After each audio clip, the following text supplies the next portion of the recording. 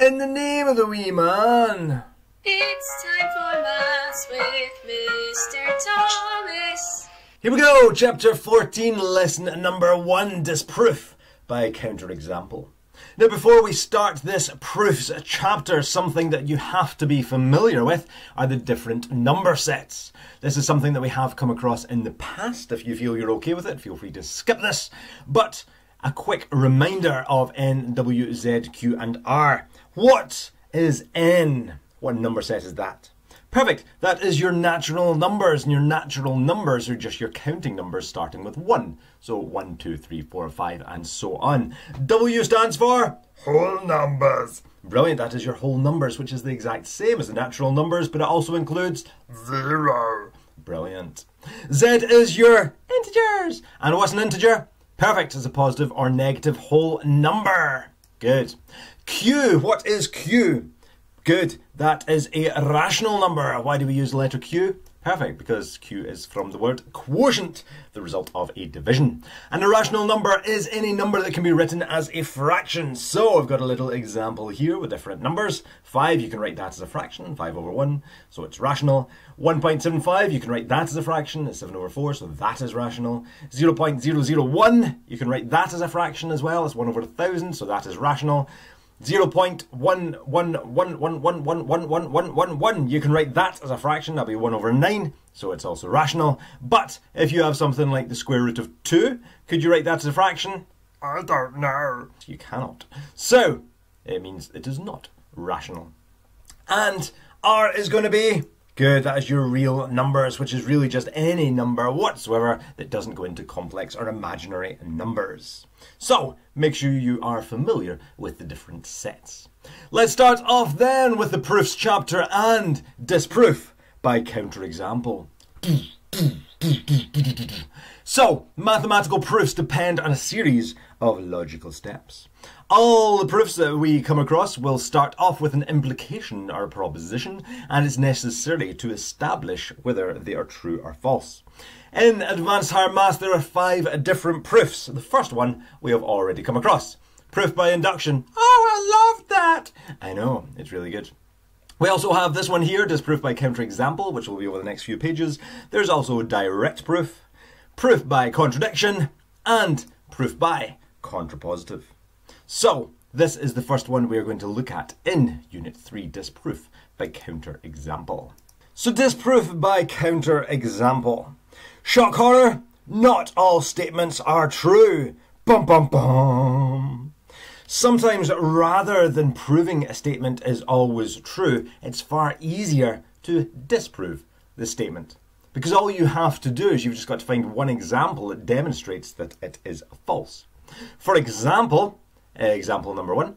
Find a counterexample to disprove that all prime numbers are odd. So, we're asked to disprove that all prime numbers are odd. So rather than going away and proving that, we want to try and find one example that would disprove it. And if you think about your prime numbers, what is a prime number? Good. It's a number that only divides by 1 and itself. So starting with 2, that's going to be the first prime number, then 3, then 5, then 7, then 11, and so on. But this very first one, 2, well, 2 is not an odd number, it's an even number. So you can say that 2 is a prime number and it's even. And that means then that that statement is false. Woo! First one done. Example 2. For any real numbers a and b, it is conjectured that ab is bigger than 0. Disprove this conjecture by providing a counterexample. First of all, what is this word here, conjecture? What does that actually mean? Well, it's an opinion which you think is true, but you've yet to prove. So you could always say, for any real numbers a and b, it is believed that ab is bigger than 0. Think about this then. So, how could we provide a counterexample here? Well, what you could do is, a lot of the time, if it's going to be bigger than zero, well, you know if you multiply a positive by a negative, that's going to give you a negative. So you can say then, you could say let a equal a negative 1 and b equal 1. That way, you've got a and b, they're both going to be real numbers, which is what you're wanting. Because a is negative 1 and b is 1 when you multiply them together, ab would be negative 1 times 1, which is obviously negative 1 and negative 1 is less than 0. We were told that AB is bigger than 0, that is what was believed, but we've just disproved that with A is negative 1 and B is 1. So we can say then that since AB is less than 0 in our example, well, the conjecture is false. Woo! Example 3 disproved by providing a counter example. Upside down A, A, B, funky E, funky R in brackets. A is less than B, funky wee arrow a squared less than b squared. Say what? Exactly. There's lots of different parts here, and we're thinking, what on earth does that mean? Well, let me go through it. This upside down A means for all. So for all A and B, this wee funky E means belonging to. So belonging to. This R, well that's your number set, that's your real numbers. And these parts we know, but the arrows, what does the arrow mean? Well that mean implies that. So if we read this out in English, it would say for all A, B belonging to the set of real numbers. If A is less than B, it implies that A squared will be less than B squared. So we need to provide a counter example. So it says if A is less than B, and we know we're going to square the numbers. Again, a lot of the time, negatives will be involved. There are loads and loads of answers that we could have for this, but the ones I'm going to say is we'll let A equal negative 4.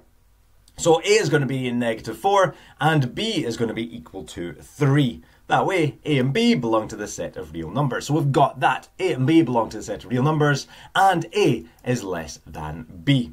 Think about squaring them. So if we square a, well that's going to be squaring negative 4, so negative 4 squared gives us 16. If we square b, well b squared will be 3 squared which is 9, and that means then that, well you can see here that b squared will be less than a squared. Or in other words, a squared is going to be bigger than b squared. But it says it implied that a squared would be less than b squared, but we've got it bigger than, so we have disproved that. And we can therefore say that the statement is false. Woo!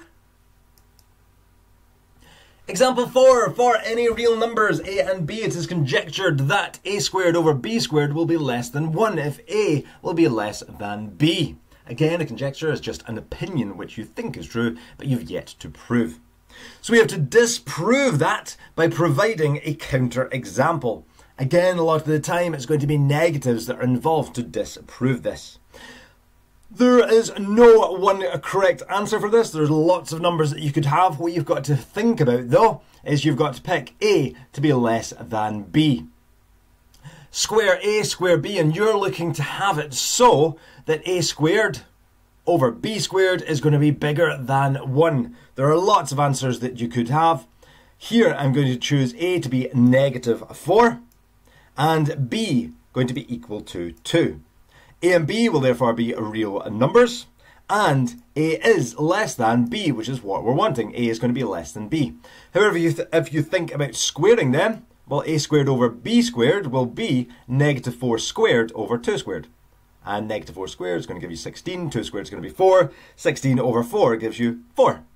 But what it's saying here is that it's believed that that is going to be less than 1. Well, we've just put in the numbers negative 4 and 2, and we've got 4. We've got a number bigger than 1. So we can say that obviously 4 is bigger than 1. And because of that, we have disproved that statement. And we can say that since a squared over b squared is going to be bigger than 1, the conjecture is false. Woo!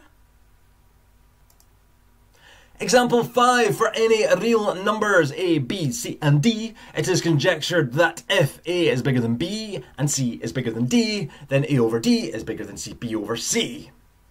Disprove this conjecture by providing a counter example. And once again, a conjecture is just an opinion which you think is true but you've yet to prove. So it's believed that if A is bigger than B and C is bigger than D, then A over D is bigger than B over C. So we are wanting A to be bigger than B and C to be bigger than D. Again, it's going to be a negative somewhere that is going to be helping you disapprove this. So the numbers I'm going to choose, there are loads you can have. You do not have to have the exact same numbers. Just check though that you are disproving that statement with whatever numbers you choose. So I'm choosing A as 5 and B as 4, so A is going to be bigger than B. We can see that, 5 is bigger than 4. And for C and D, well, C is going to be 3, and D, well, D here would be a negative for my example. So I'm going to choose a D to be negative 10. A, B, C, and D, the 5, the 4, the 3, and the negative 10 would belong to the set of real numbers. If we start working that out, A over D, well, A over D would be 5 over negative 10, which really gives you negative a half. And if you've got B over C, well, B over C would be 4 over 3. You know that because this is a negative, it is going to be less than the 4 over 3. So really what I've got is the A over D is less than B over C. However, if you look back to the question, it's believed that A over D is bigger than B over C. Well, because we've got it less than, we have disproved that statement. And we can say that that conjecture is false. Yeah! Try some of these questions in the Unit 3 booklet with a disproof by counter example. Again, just spend some time thinking about different numbers that you could input that would disprove whatever statement you have. Best of luck! Enjoy! Unit 3 booklet, page 75. Email me if you need the booklet. See ya!